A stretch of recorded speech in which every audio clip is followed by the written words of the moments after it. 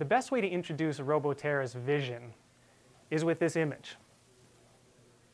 Makes you feel kind of small, doesn't it? I think I can see my house from there. Just kidding. This is a photo taken from Mars with the NASA rover. It is an actual photo supplied by NASA. Now, I show this to you because we believe at Roboterra that technology is on the cusp of making feats like this commonplace. We believe that with the right blend of ingenuity, persistence, and most importantly, creativity, that young learners and the next generation of STEM innovators are ready to make images like this common.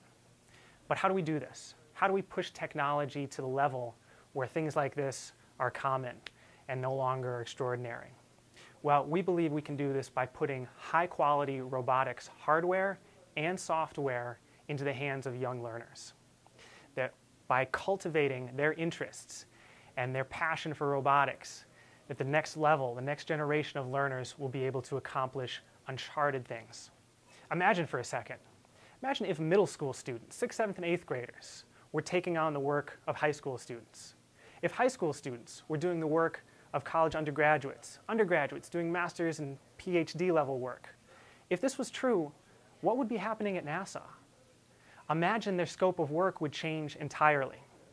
And we believe that we can catalyze this chain of events by putting high quality education materials in the hands of teenagers. That's Roboterra's vision. That's our goal. As you watch these coming videos, keep that vision in mind.